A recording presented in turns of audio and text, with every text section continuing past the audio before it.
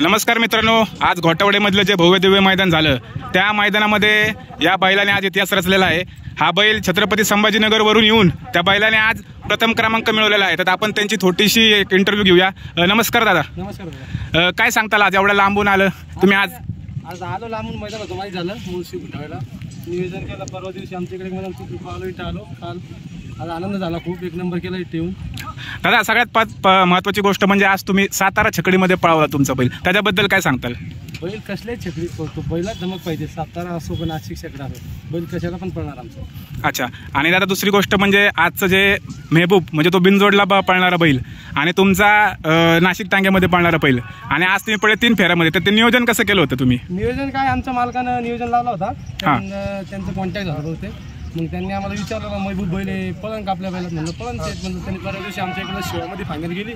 म्हणलं आपल्या बैलामध्ये पळणार. म्हणलं का म्हणलं करा ते पैरा पळू आपण ती गाडी. अच्छा दादा आणि आज तुम्हाला इथं कळलं की आपल्याला सातारा छकडीमध्ये पळायचं आहे. तर तुमचे जे ड्रायव्हर आहेत त्या ड्रायव्हरला तुम्ही काय सांगितलं होतं की आबा छाकडे सातारा छकडीमध्ये तुला आज गाडी पळवायची आहे. नाही आमचा ड्रायव्हर याच्या अगोदर पण सातारा छकडी हाकललेली असं काही नाही पहिलं खूप वेळेस तरी सातारा छकडी आणलेली याच्या अगोदर बी आम्ही मोरगावला सातारा छकडीला पहिला आणला होता. असं काही नाही पाच सहा हाकलली सातारा. अच्छा दादा आणि आजचं जे आपण गटाला पण गाडी बघितली गटाला तर काय निर्विवाद वर्चस्व होतं गाडीचं. आणि सेमीला पण एकदम जोरात गाडी पळाली. आणि सगळ्यात महत्त्वाचं म्हणजे फायनलला एकदम टॉपच्या गाड्या होत्या शेजारी पाजारी. आणि तरी तुमच्या लखननी एक पहिला प्र- प्रथम क्रमांक मिळवला. काय सांगाल त्याच्याबद्दल? चांगला आनंद झाला पहिला दादा ते बी पळणारेच पहिले आपल्याला पळणारे ते कधी ते बी जिंकू शकतो आपण बी जिंकू शकतो. हा. बैल कोणत्या बी छकडीत पळणार? आता आम्ही मागं बी एक इंटरव्ह्यू दिला त्याच्यामध्ये म्हणलो आम्ही सातारा छकडीला पण बैल पळू. आणि पळून दाखवला आणि एक नंबर करून पण दाखवला.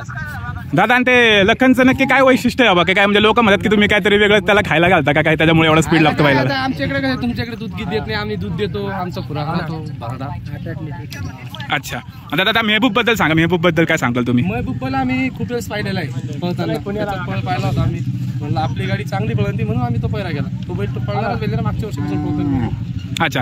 दादा आता तुम्ही म्हणजे इथली साताऱ्यामधली पण लोक लखनची फॅन झालीत नाशिकमधली तर आहेत तर मुंबईमधली पण आहेत.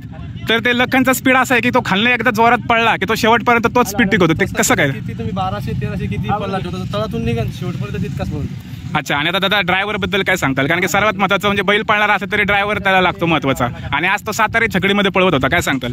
ड्रायव्हर तर आमचा खूप जुना आहे खूप अनुभव आहे त्याला. हां. त्या खूप मोठे मोठे बैल हाकललेले त्याला. ते असं काही ड्रायव्हर एकदम हुशार चालक आहे. त्याच्या टायमाला गाडी आणतो कसं सांगायचं काय अच्छा. ड्रायव्हर पाहिजे सुट्टी मेकर पाहिजे मग सगळं कार्यक्रम करतो अच्छा.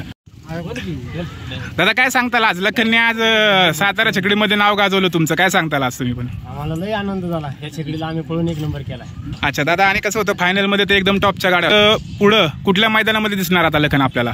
आता एकोणतीस तारखेच्या मैदान एकोणतीस तारखेला. आणि आता आता इथले जे सातारा सातारा म्हणजे सगळीच बैल आहे सातारा असू दे नाशिक असू दे बैल सगळी आपलीच आहेत. नाशिक मधले असू दे नाही तर सातारा मधले असू दे. तर आता सर्व संपूर्ण महाराष्ट्राची एक इच्छा आहे की जो आपला सातारा छकडीमधला जो नामवंत बैल आहे तो म्हणजे बकासूर.